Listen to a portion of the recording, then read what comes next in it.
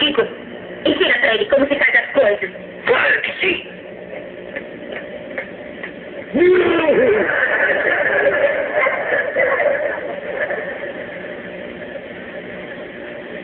Procura alguma coisa?